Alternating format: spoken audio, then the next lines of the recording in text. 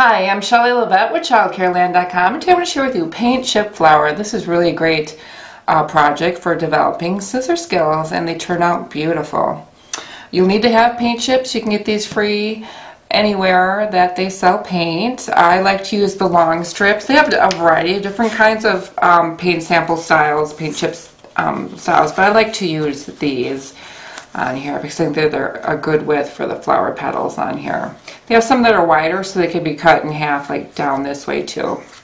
And um, you need to have, I've used, this is all card, colored cardstock paper, but you can use construction paper. So you need to have either construction paper or cardstock paper, glue, stick, scissors, and for my circle, I've used a hole punch, um, but you don't have to do that, or circle punch actually is what it is. I got from Michael's Craft Store with the 40% off coupon.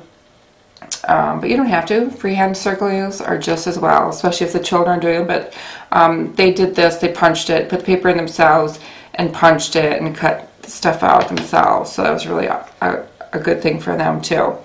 And then what they did was they made a stem and some leaves, and then they punched out their yellow circle for the center of the flower, and then they picked their, picked their paint strips. They chose whatever colors they wanted to do and we had them count up to three because we thought with the paper width that, was the perfect uh, size for um, the petals of the flower. And so they were cut told to cut the cut on the line count up three or choose three and then um, count cut on the white lines on there.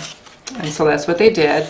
And then they glued it on some um, chose all the same colors some chose different colors some did some as this one is alternating colors um, you know, let them choose whatever kind of colors that they would like to use on there, but definitely provide a sample or a variety of different um, colors. But these are just beautiful hung up around the um, classroom or your early learning environment to encourage spring, which is hopefully coming soon to some of our areas. And if some of you already have it, you're pretty lucky, but Wisconsin, we're still kind of holding out here for a little bit warmer of the temperatures, but hopefully they'll arrive soon.